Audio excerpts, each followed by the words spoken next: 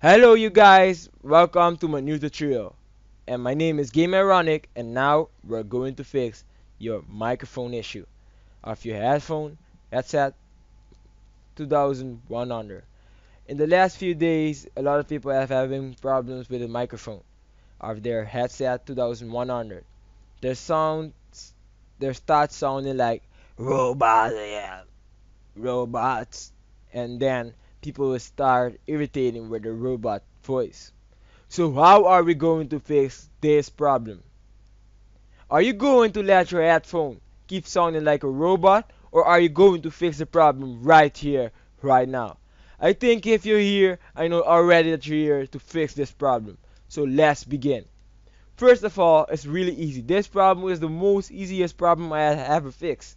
So first of all, you have to go to start, then search sound, it is Windows 8.1 of course. If you're Windows 7 just 32 sound.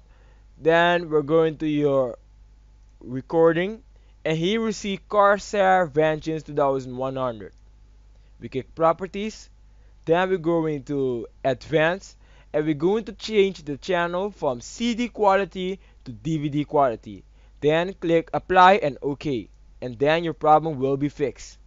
Then there's no more robot voice and nothing else your voice will be just normal. Of course, when you restart, the um, settings of DVD quality is going automatically to the CD quality back. I know a lot of you have had this problem, but I'm here to help you fix it. That is my job. So I hope you like my video, and if you like it, if, if you like my video, just like it. If you dislike my video, just dislike it. And please, when you're done, if you want more gameplays, tutorials, or anything else, please subscribe.